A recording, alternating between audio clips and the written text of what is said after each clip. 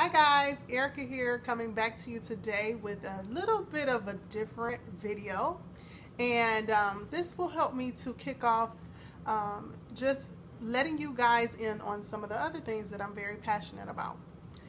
As you can tell by the title of the video, I have something weird to talk about today, which is Crisco. And the title of this video is As a Trim Healthy Mama, What Can I Do with Crisco? As you can see, this is the vegetable shortening. This is for my international people that watch. If you don't know what Crisco is, it's basically here in the U.S., it's vegetable shortening, but it is solid. It does not melt at room temperature. So I'll give you a little look here. Okay, so you see that? It's solid and it's white. Traditionally, people use this to fry chicken and make other dishes, um, bake with. For Trim Healthy Mama, as you know, we do not use vegetable shortening. Um, it's not good for your heart and um, just not good for your body in general. You don't want to eat anything that stays solid at room temperature there. I mean, coconut oil kind of stays solid, but it does heat up when your home is warm. We know that coconut oil is good for you. This is not, basically.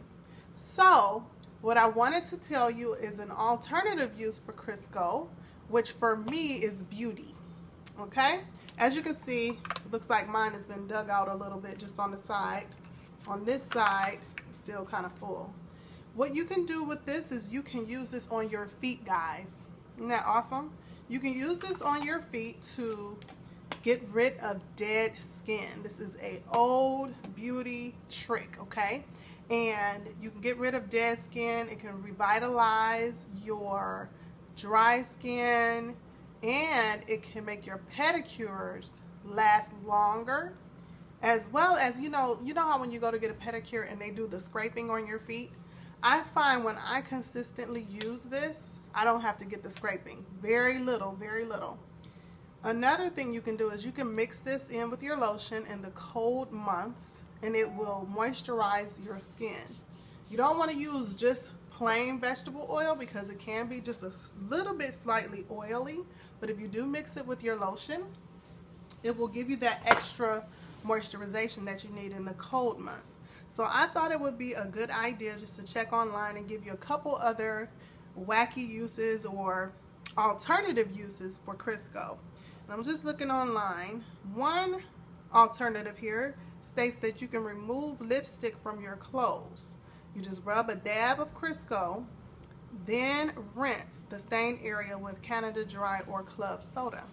So you can get lipstick out of your clothes. Another use is to season your new cast iron cookware with it. If you do buy traditional cast iron, you know it needs to be oil rubbed and then baked in the oven so that it will prevent any sticking in your future cooking.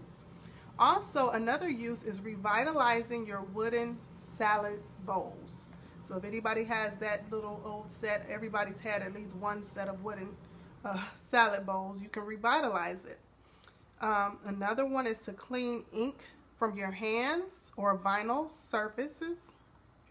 This is a good one. You can preserve a wooden, a wooden cutting board. So that's pretty cool.